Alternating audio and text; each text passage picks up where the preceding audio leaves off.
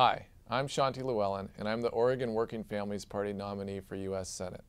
I'm a lawyer representing workers by day, a union dock worker by night, and the father of two beautiful young children. I'm running for U.S. Senate because the working class is under attack. Hours are getting longer, while pay is getting shorter. Higher education has become less attainable, and the voices of Oregonians are being drowned out by big business and out-of-state multimillionaires.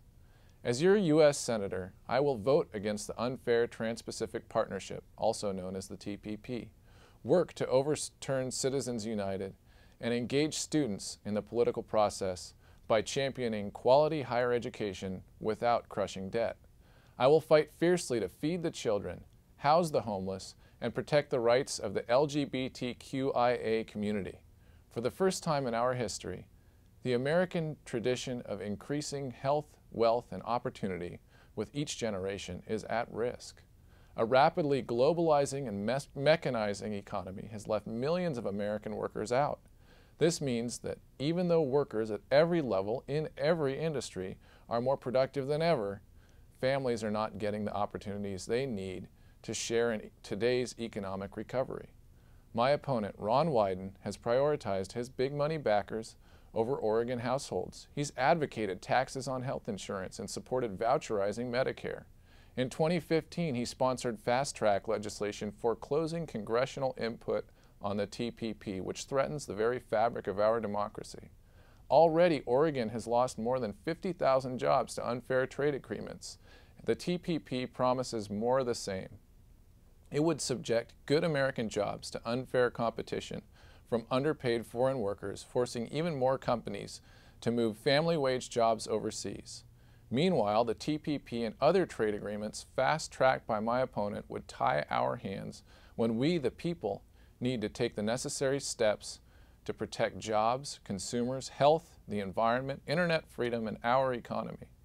Why would Senator Wyden support the TPP and so many other trade-related and domestic policies that have put our state in jeopardy?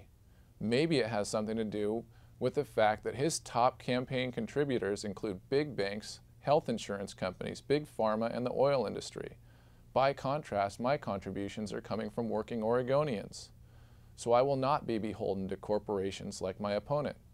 With your support, I will cast Oregon's vote to break up the banks that are too big to fail, support Medicare for all, and enact measures necessary to reverse climate change. I propose a 21st century reform leveraging the bounty of our land to create rural jobs for Oregonians, sustainably harvesting and locally processing forest products. Forestry, prioritizing fuels management, and taller stands of trees can be used to create family wage jobs for generations while promoting biodiversity. I support modernizing our highway, rail, and marine transportation systems to promote energy efficiency and create additional rural development jobs. Instead of being enticed by short-term gains from, our, from building pipelines to export our oil, let's build the foundations for another century as a world leader in cultural and technological innovation. From personal experience, I know what it means to live in poverty to enter an anemic job market with student debt, and to work for low wages. I'm devoted to the success of the people of Oregon in empowering each other and ourselves to help every Oregonian reach their full potential.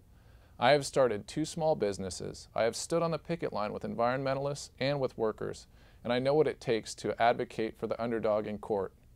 I aim to enable a coalition of everyday Oregonians to put forward policies that embody our values and live up to our commitment to our heritage and to, better to a better future. There is no excuse for failing to protect all endangered species, including salmon and mill workers. Let's build a movement that's not scared to face these problems and engage every Oregonian in the process. Oregon has come a long way toward creating a culture of inclusion and equality, but the two major parties have not caught up because after Citizens United, money talks, and the rest of us walk. I'm Shanti Lewallen, and I'm asking you to vote for me for U.S. Senator. Join the Working Families Party in building a movement that has room for all of us, not just Wall Street insiders and corporate phonies.